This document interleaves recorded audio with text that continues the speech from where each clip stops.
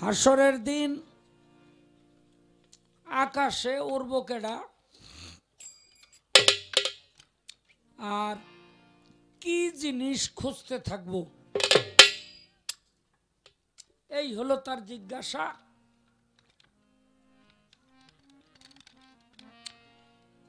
ইনশাল্লাহ জবাব করব। তো তার আগে একটা গান আমি করি। রাত্র কটা বাজে রে? আড়াইটা?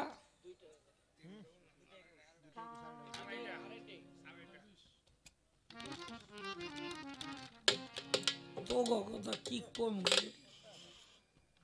পঁচিশ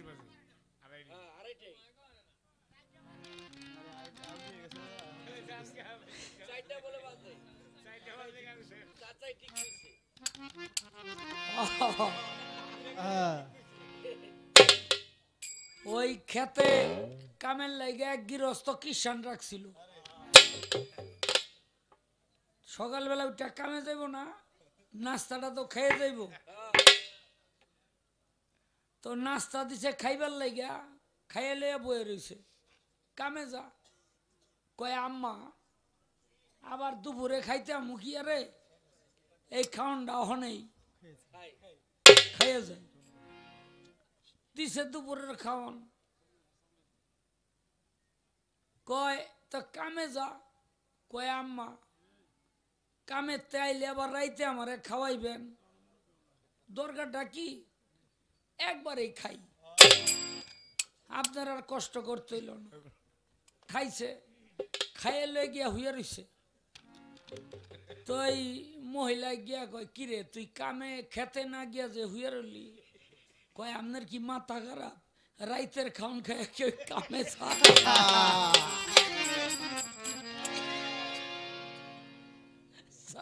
কয় চারটা বাজে চারটার পরে কেউ গান গায়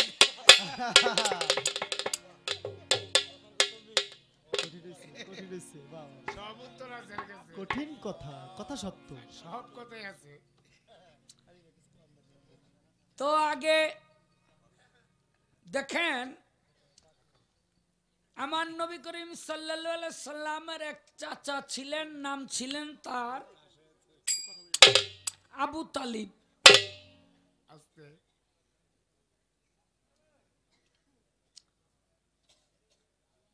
এই আবু তালিবের হলো তিন ছেলে, যার একজনের নাম হজরত আলী করিমুল্লাহ ওয়াজহু, এক তারপরের ছেলের নাম হইল আবু জাফর তারপরের ছেলের নাম হলো আকিল। এই আকিল মুসলমান ছিলেন না, সে বিধর্মী হইয়াই মারা গেছে। সিটারে নবীর বাড়িটাও জাল দলিল করে চালাইছিল নবী যখন মক্কা ছেড়ে মদিনায় হিজরত করে নবীর তো আর কেউ নাই। নবীর বাড়িটা জাল দলিল করিয়া বেচালাইছিল আল্লাহ পাক আমাকে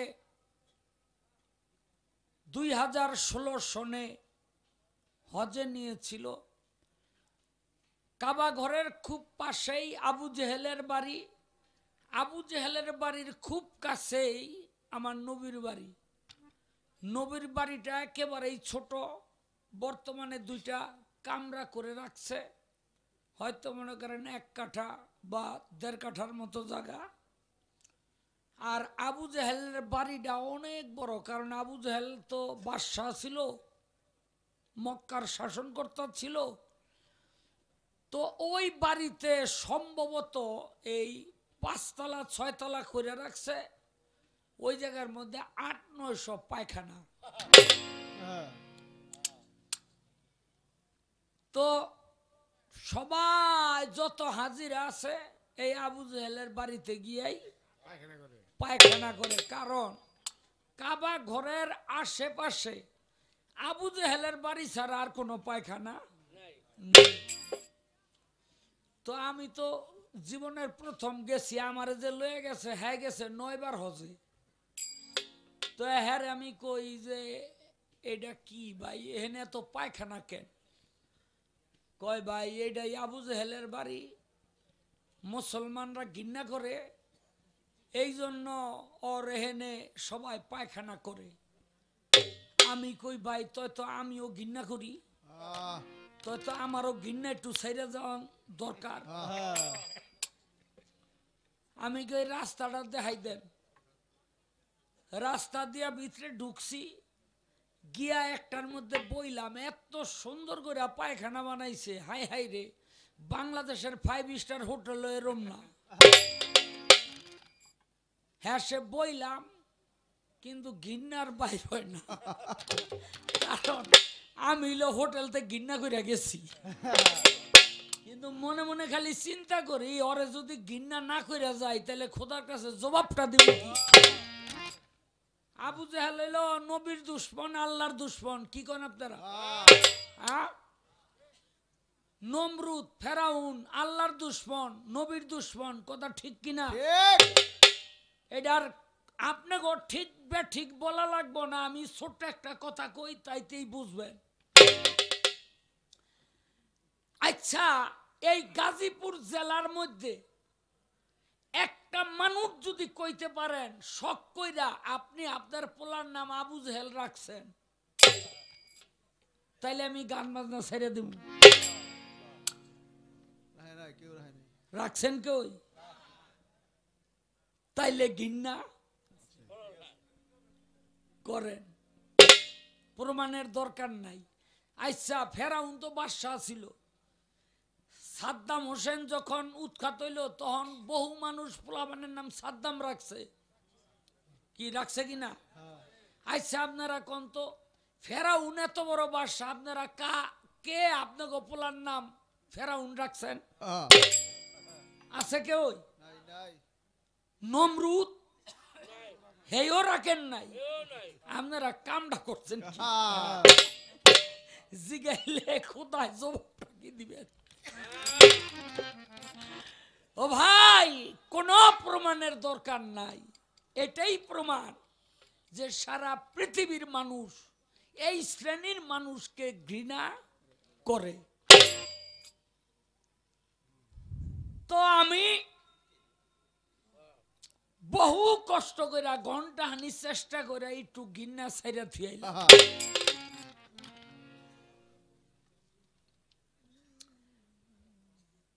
আমার নবীর চাচাতো ভাই সেই আকিল মুসলমান হয় নাই। মেজ ভাই আবু জাফর, ইনি ছিলেন মুসলমান, একটা যুদ্ধে আমার নবী তারে পাঠাইছিল। মুসলমানদের যুদ্ধের একটা নিয়ম হইল, শুধু মুসলমান না, সমস্ত দেশেরই। যারা সৈনিক, তারা বলতে পারবেন, যারা যোদ্ধা মানে আর্মি বা এই নৌবাহিনী বা বিমান বাহিনী, এই সেক্টরগুলোতে যারা চাকরি করেন, তারা বলতে পারবেন, যুদ্ধের ময়দানে সবসময় পতাকা উঁচু করে ধরে রাখতে হয়। তাতে সৈনিকের, সৈনিকদের মনোবল চাঙ্গা থাকে আর তারা বুঝে যে আমরা এখনও জয়ের দিকে আগাইয়া রয়েছি যুদ্ধ আমাদের আরও বীর বিক্রমে চালাই যাইতে হবে। এই পতাকাটা ধরার দায়িত্ব ছিল এই আবু জাফরের উপরে। তো এক হাতে তরবারি আর এক হাতে পতাকা। কাফেরদের এক সৈন্য দেখে ওই পতাকাটা যদি ফালাই দিতে পারি তবে মুসলমানে মনে করব, আমরা আইরা গেছি, পতাকা যখন পড়ে গেছে, দৌড়াইব। পিছন দিক দিয়া ইয়া একটা কূপ দিয়া আবু জাফরের বাম হাতটা ফালাই দিছে। আর বাম হাতের মধ্যে ছিল পতাকাটা ধরা। মাটিতে পড়ে গেছে, পড়তে পড়তে এই পতাকাটা যখন মাটিতে পড়বে, হাতের তরবারিটা ছেড়ে দিয়া, ডান হাত দিয়া ওই পতাকাটারে ধরছে।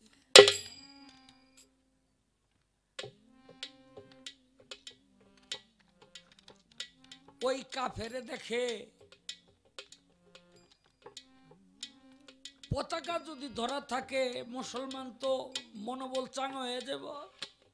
এই ডান হাতের মধ্যে একটা কোপ দিয়ে পতাকাটা ফালাইয়া দিব।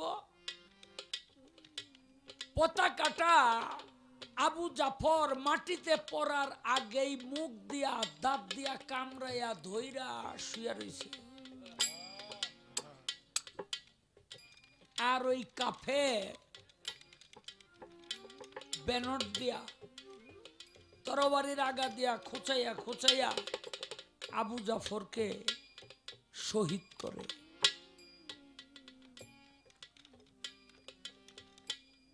আমার আল্লাহ কয় নবী, আমার হাবিব আমার ইসলামকে সমুন্নত রাখার জন্য আবু জাফর যেই হাত দুইটা আমার রাস্তায় দান কইরা দিল। আমি আল্লাহ ওই হাত দুইটার বিনিময়ে আখেরাতে হাসরের দিন আমার আবু জাফরে দুইটা পাখা দিয়া দিব ওই পাখা দিয়া উইরা উইরা সারা হাসরের মাঠ ঘুরা বেড়াইব।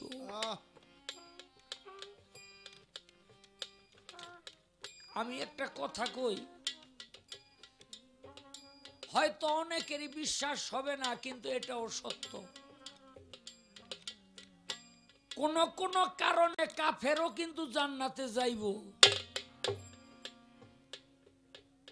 কাফের যে জান্নাতে যাইব কইতামনি?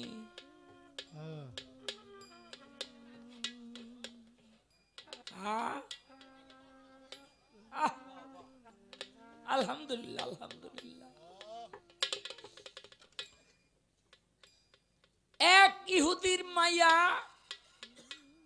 এক ইহুদির পোলা, আর নবীর এক সাহাবীর মাইয়া। দুইজনের রইল প্রেম।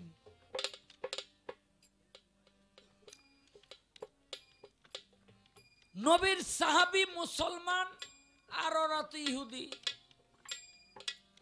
আমাকে বাংলাদেশেও আমার জানা মতে অনেক হিন্দু মুসলমানের প্রেম হয়ে গেছে। বিয়া শাদিও হইছে। হয় না?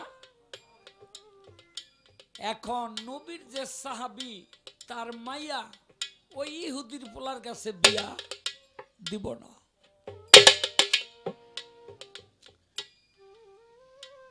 এখন এ পোলায় তো মাইয়ার পিছারে না। তখন মাইয়াই কইছে, আমারে যদি তুমি বিয়া করতে চাও, একটা রাস্তাই খোলা আছে, সেটা হলো আল্লাহ নবী। হ্যারে যদি রাজি করতে পারো তাহলে আমার বাবাও কিছু কইব না। নবী হইল ওহুদের যুদ্ধে যাইব। আয়োজন করতেছে। আর এমন সময় ওই ছেলে গিয়া কয় রাসূলুল্লাহ, বড় আশা করে আপনার কাছে আইছি। আমার প্রাণের চেয়ে বেশি ভালোবাসি এই সালমারে। আপনি যদি আমার হাতে তুলে দিতেন, ওর আবেগ দেখা ওর ভক্তি দেখা আমার নবী বললেন, আমি যুদ্ধে যাই, এটা মদিনার ঘটনা। আর অহুদের প্রান্তরটা মদিনার একেবারেই কাছে। যারা সৌদি আরব মদিনায় থাকছেন, তারা জানেন, খুব একটা দূরে না। এরে বিয়া দেও আমি আসি। বিয়া দিছে নবী যুদ্ধের ময়দানে গেছে, আপনারা জানেন? যুদ্ধের মাঠে ওহুদের প্রান্তরে আল্লাহর রসুলের একটা দাঁত শহীদ হয়েছিল এই দাঁত শহীদ হয়েছিল যার কারণে হজরত ওয়াইস করণী যখন খবর পাইল, নবী মুহাম্মদের একটি দাঁত শহীদ হয়ে গেছে, হাতের মধ্যে একটা পাথর নিয়ে জীবন নবীরে দেয় নাই। একবার মাই কইছে, বাবা, দেরি করিস না। আয়সা সিদ্দিকার ঘরের সামনে দাঁড়ায় সালামটা দিয়া খালি কইছে আল্লাহর নবী কি আছেন? কয়, না। কিছু কই তৈব? কয়, আইলে আমার সালাম দিয়ে এই কথা কই আই, আবার গেছে গা করণ সব। কোনদিন দেখে নাই। নবী ঘরে আইসা বলে আয়সা কেউ আসছিল? কয়, না। কয়, না, কেউ আইছিল। কয় হ আইছিল একটা পাগল। কয়, আয়সা গো, ওরে পাগল কইও না। ও হইল আমার প্রেমিক। এই কারণে আমার নাকের মধ্যে, আমার ঘরের মধ্যে ওর ঘেরান আছে। গায়ের ঘেরা জীবনও দেখে নাই। হাতের মধ্যে একটা পাথর নিয়া একটা দাঁত ভাঙ্গা ফালাই দিল। কেন? নবীর সুন্নত, আমার নবীর মুখে দাঁত নাই। আমি দাঁত লইয়া গুরু পরক্ষণে মনে মনে চিন্তা করে,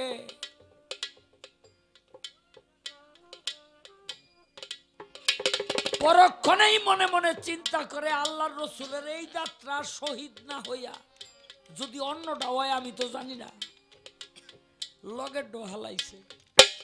এরকম চিন্তা করতে করতে বত্রিশটা দাঁতি যায়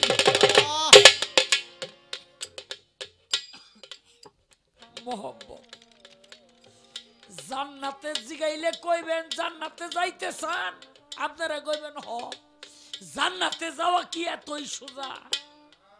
আল্লাহ আল্লাহ রসুলের প্রতি কি মোহাব্বত? এই হৃদয়ের মধ্যে পয়দা করছেন জান্নাতে জান্নাতে যাইবার আশা করেন।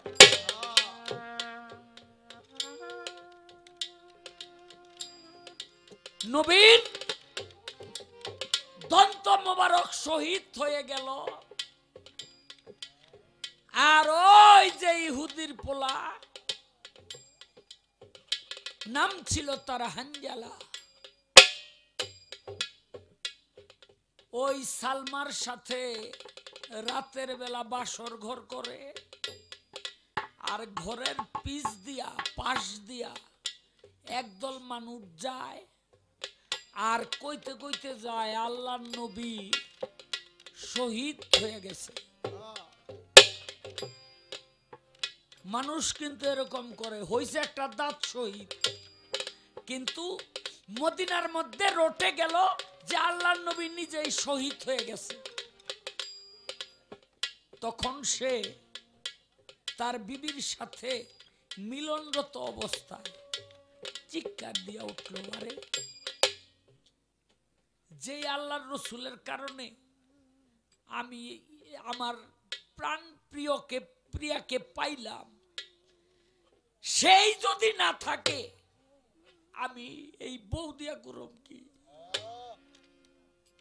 হাতের মধ্যে একটা তরবারি লইয়া একটা দৌড়ে ইহুদের মাঠে গেছে কোন সে জালিম যে আল্লাহর রসুলকে আঘাত করে হত্যা করেছে? খুঁজতে আরম্ভ করল। ওহুদের মাঠটা অনেক বড়। যেখানে আমির হামজার রজা মোবারক সত্তর জন সাহাবির রজা মোবারক এই ওহুদের মাঠে আল্লাহর রসুলের দাঁত শহীদ হয়েছিল। আল্লাহ পাক সেই নিদর্শন আজ পর্যন্ত রাইকা দিছে। পৃথিবীর সব পাহাড় কালা। ওহুদের পাহাড় লাল।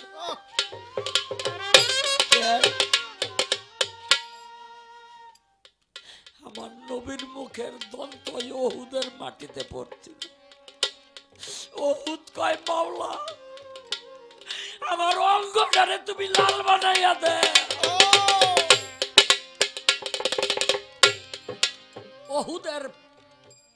সেই পাহাড় আজ পর্যন্ত হাতের মধ্যে তরবারি নিয়ে খুঁজতে আরম্ভ করল কোথায় সেই হত্যাকারী? খুঁজতে খুঁজতে একটা জায়গার মধ্যে গিয়া দেখে, আরে আল্লাহর রসুল তো মরে নাই।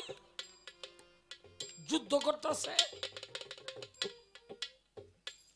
কিন্তু চাইয়া দেখে পিছন দিক দিয়া একটা কাফের হাতের মধ্যে তরবারি নিয়া এই নবীর গলাটার মধ্যে একটা কোপ দিব।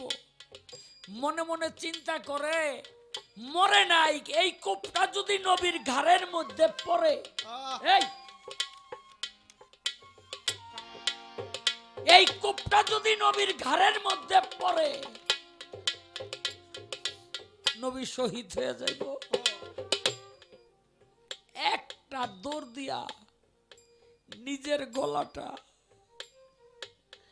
ওই তরবারির নিচে দিয়ে দিছে। সঙ্গে সঙ্গে দুইটা টুকরা হয়ে গেছে। ওহুদে নবী জয়লাভ করছে। লাশগুলো খুঁজে খুঁজে বাহির করে। তার মধ্যে দেখে সেই কাফের হানজালার লাশ দুই টুকরা দুই জায়গায়। হানজালার মুখে ছিল দাড়ি। দাড়ি দিয়া টপ টপাইয়া পানি পড়ে জল ও, আর নবী কয় বাবু হানজালা আমার মহব্বতে শহীদ হয়েছে কিন্তু আর দাড়ি দিয়া পানি ভরে গে। আমার আল্লাহ কয়, দোস্ত, আমার ইসলামের মহব্বতে, আপনার মহব্বতে, আমার রাস্তায় ও নাপাক অবস্থায় যুদ্ধের ময়দানে আইসা ওর জীবনকে দিছে। আমি আমার ফেরেস্তার মাধ্যমে ওরে আসমানের মধ্যে তুললাম না। আমি ওরে আপকাউসারের পানি দিয়া গোসল করে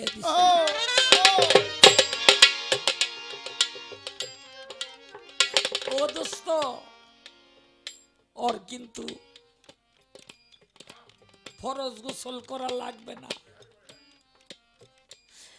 ওর গায়ের মধ্যে যা আছে তাই দিয়াই ওরে দাফন করে। ওর গোসলের কোনো দরকার নাই ওর গোসল আমি নিজে আল্লাহ করাই দিছি। কি ছিল?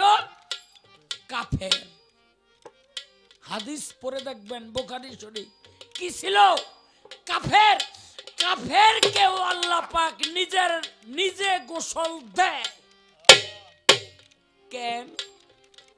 নবীর প্রেমের জন্য, নবীর প্রেমের জন্য। নবী প্রেম যার মধ্যে আছে, তার আর কোনো এবাদত লাগে না রে। আহ, কোনো আবাদত লাগে না নবী এমন এক সম্পদ ওই সম্পদ যে লাভ করছে এই পৃথিবীর সমস্ত সম্পদ তার কাছে তুচ্ছ।